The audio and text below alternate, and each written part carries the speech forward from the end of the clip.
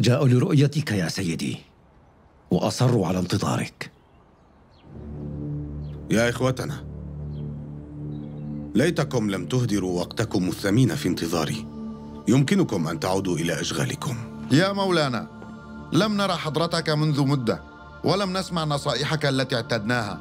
عندما وصل المغول إلى أرض روم لم نتمكن من النوم. نحن بحاجة إلى نصح مولانا. فالخوف يتملكنا.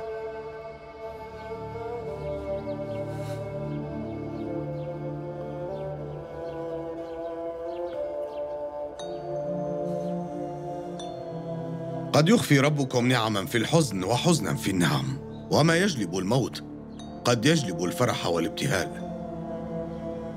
حتى وإن سفك المغول الدماء فلا تعلمون أي شفاء يحمل لنا هذا الألم.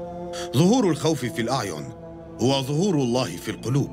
فلننظر إلى قلوبنا ونتوجه إلى صاحب هذا الكون.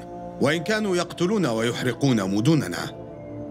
ألا نملك نحن القوة والعزيمة كي نرد ظلمهم؟ بالطبع نملك. فعالمنا عالم التناقضات يا سادة. إن كانت إحدى كفتي الميزان فارغة فما فائدة امتلاء الأخرى؟ وما قيمة الشر في مكان لا خير فيه؟ لقد أمد الله تعالى مريديه بالسيوف والعزيمة والإيمان لرد ظلم المغول وجورهم. نحن مختلفون عنهم. نحن لا نشهر سيوفنا عند الحنق والغضب. نشهرها عندما تستدعي الحاجة. ونرفقها برحمتنا وشفقتنا. فماذا نجني من تدمير أنفسنا بالخوف؟ ارجعوا إلى أعمالكم. وضعوا ثقتكم بربكم وعدالته. حفظكم من الخوف وغمركم بالطمأنينة. آمين.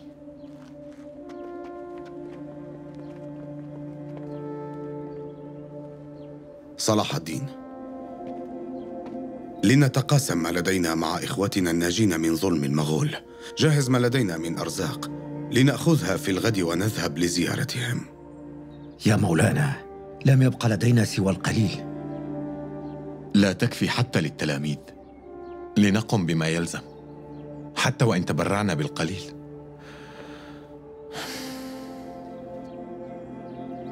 هل أنا مخطئ يا أبي؟ لم أسمع منك كلاما خطأ حتى الآن. وإن شكك أحد بكلامك فأنا سأكفلك.